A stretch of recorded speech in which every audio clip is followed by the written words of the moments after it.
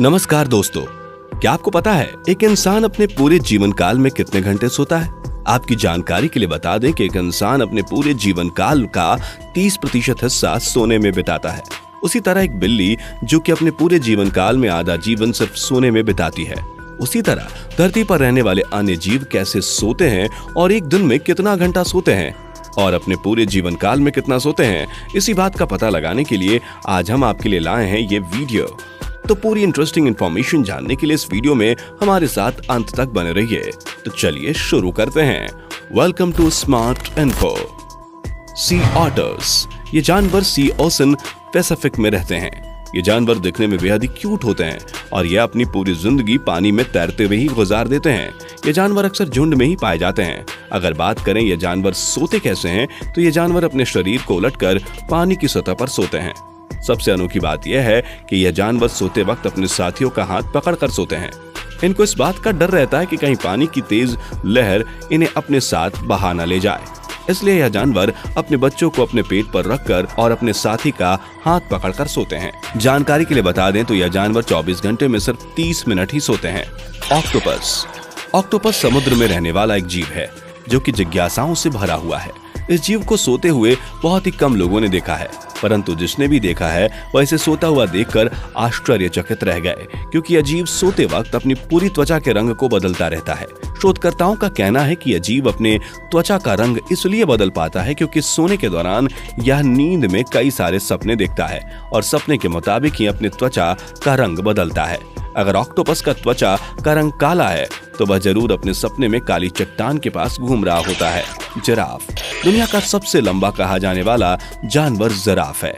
यह जानवर बेहद शांत स्वभाव का होता है। जिराफ अपने भारी भरकम शरीर के कारण देखने में बेहद ही आलसी लगता है। अपने लंबे कद के मुताबिक और भारी शरीर के कारण सभी को यही लगता है कि यह जानवर अपना अधिक समय सोने में व्यतीत करता होगा। परंतु ऐसा नहीं है। जिराफ 24 घंटे में सिर्फ़ दो से तीन घंटे ही सोता है, क्योंकि नींद में यह जानवर बेहद ही बेचैन होता है। नींद के कारण जिराफ को लगता है कि कहीं से कोई शेर आकर उस पर हमला कर देगा और उसका शिकार कर लेगा, जिसके कारण यह जानवर कम खाता है और कम सोता है। फ्लैमिंगो, इस पक्षी को हम दुनिया के सबसे अनोखे पक्षियों में से एक कह सकते हैं। क्योंकि यह दिखने में बहुत ही खूबसूरत और शानदार होता है। इन पक्षियों का रंग इनकी आहार पर आश्रित होता है। ये पक्षी अपने शिकार के लिए कई घंटों एक पैर के सहारे खड़ी रहती हैं। परंतु सबसे चौंका देने वाली बात यह है कि यह पक्षी सोने के दौरान भी अपने एक पैर पर खड़ी ही रहती है। वैज्ञानिकों का मानना है कि दोनों पैर पर खड़े होने पर इन पक्षियों के पैर ज़्यादा एक्टिव हो जाते हैं।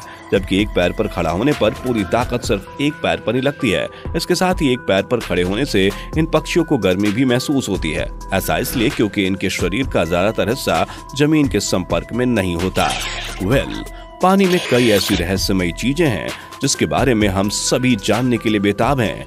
उन्हीं चीज़ों में से एक है वेल। जी हाँ और इसका सोना। वेल जो दुनिया की सबसे बड़ा जीव है। यह जीव समुद्र की गहराइयों में पाया जाता है। वेल, समुद्र की गहराइयों में बिल्कुल सीधे होकर सोते हैं और सोते वक्त इनके शरीर में कोई भी हलचल नहीं होती। सोते समय इनका दूसरा मस्तिष्क हमेशा एक्टिव रहता है, क्योंकि यह सोने के साथ ही बेहद चौकन्ना रहते हैं, क्योंकि हमेशा इन पर हमला होने का खतरा बना रहता है। इसलिए जब ये सोते हैं तो अपना एक मस्तिष्क एक्टिव रखते हैं। जब एक मस्तिष्क उनका थक जाता है तो यह दूसरे मस्तिष्क को एक्टिव कर लेते हैं। वेल सांस लेने के लिए अक्सर पानी की सतह पर आते हैं और इसलिए जीव अपना मुँह पानी के सरफेस की तरफ़ रखते हैं। फ्रिगेट्स बर्ड ये पक्षी समुद्र तल के नजदीकी क्षेत्रों में पाए जाते हैं। इन पक्षियों की सबसे खास बात यह है कि यह उड़ने के दौरान अपने भोजन तथा सोने की क्रियाएँ कर लेती हैं।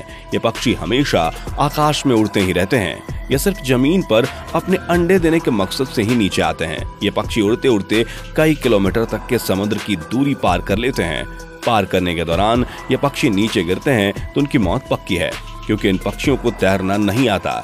वैज्ञानिकों का मानना है कि ये पक्षी उड़ते समय 45 मिनट में 10 मिनट की नींद लेते हैं। अगर नींद के दौरान ये ज़मीन पर आते हैं तो यह करीबन 12 घंटे तक सोते ही रहते हैं।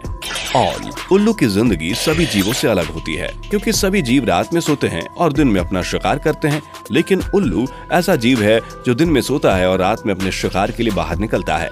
उल्लू का चेहरा देखकर यही लगता है कि बेहद ही आलसी होंगे, परंतु ऐसा नहीं है। यह जीव पूरे 24 घंटे में सिर्फ़ कुछ ही पल की झपकी लेते हैं। उल्लू अपनी नींद पूरी करने के लिए किसी भी पेड़ पर बैठे बैठे सो जाते हैं, परंतु वही उल्लू के बच्चे ऐसा नहीं कर पाते, क्योंकि उस वक्त उनके शरीर का वज़न काफ़ी ज़्यादा होता है, जिसकी वजह से बैठकर सो नहीं सकते, इसलिए वह ज़मीन पर पसर कर सो जाते हैं। बिल्कुल इंसान की तरह।